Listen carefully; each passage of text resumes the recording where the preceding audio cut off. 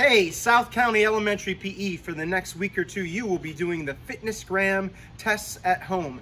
Those tests are the PACER, which tests for your cardiorespiratory endurance, the sit-ups, which mainly test for your muscular endurance, the push-ups, which test for your muscular strength and a little bit of muscular endurance, the sit and reach, which tests for your flexibility, and I'm adding the broad jump, which tests for your...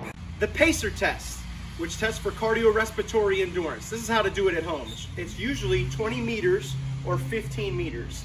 So that's tough to, uh, to measure at home. So what I'm gonna do is I'm gonna take a ruler, which is 12 inches, and what I'm gonna do is I'm gonna measure my foot, which is roughly the same size, my shoe is roughly the same size as that ruler. So what I'm gonna do is I'm gonna line up my feet, here's gonna be my starting line, and I'm gonna put my feet together 60 times and that will be my other line. So it's gonna look like this. One, two, three, four, five, six, seven, eight, nine, ten.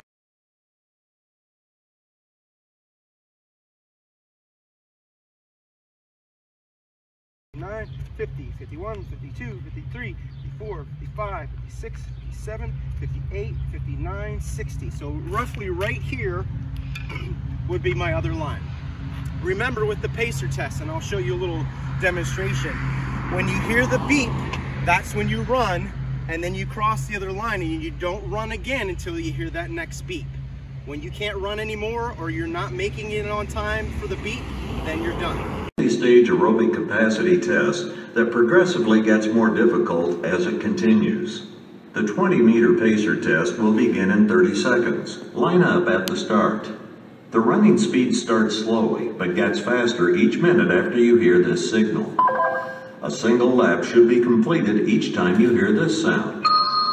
Remember to run in a straight line, and run as long as possible. The second time you fail to complete a lap before the sound, your test is over. The test will begin on the word start. On your mark, get ready, start.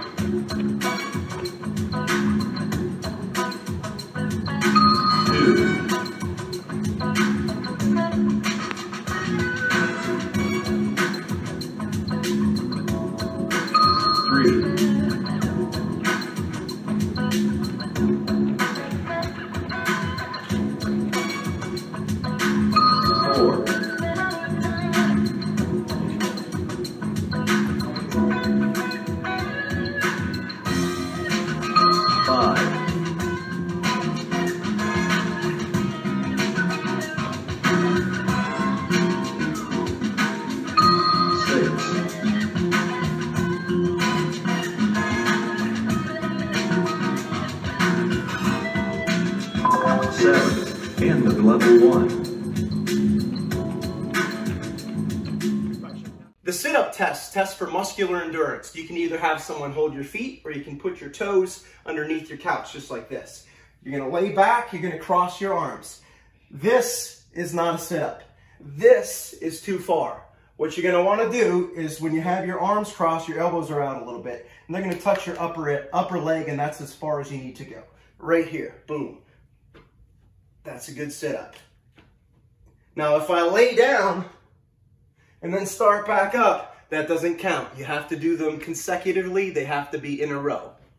The push-up test. This test for muscular strength, a little bit of muscular endurance. Two ways you can do them. You can do them from your feet, just like this, or you can do them from your knees. Now, two things that I often see with the push-up test. This is not a push-up. My back is not straight. You have to have your back straight. Also, this is not a push-up. I'm not going all the way down. That's not a push-up. This is what a good push-up looks like. My hands are about shoulder width apart. My elbows are bending. I'm touching the ground or the floor and coming right back up all the way. This is not a push-up. This is not a push-up from your knees, this is what a good push-up would look like. This is not a push-up, and this is not a push-up. Also, when you do your push-ups, don't rest on the ground or the floor. Come right back up. Just touch your body to the floor, come right back up. The sit and reach test, you're gonna need a ruler. I'm gonna tape this ruler right here. The one is facing me, the 12 is here, the nine is right at the edge of the couch, so right about there.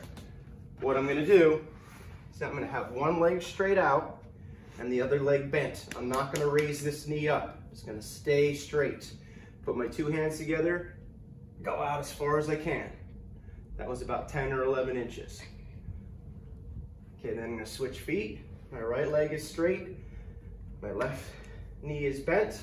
This one's gonna stay straight, not bend. My hands are together. Go out as far as I can. Broad jump tests for power, which is a quick application of force. I'm going to use a tape measure. If you don't have a tape measure at home, you could just mark it off with your feet how far you've jumped. So what I'm going to do is I'm going to use a two foot takeoff. I'm at the other end of the measuring tape. I'm using a two foot takeoff. So I bend my knees, I swing my arms, and I get a good jump. It looks like this. Now I'm going to measure that to see how far I jump and take a couple other turns.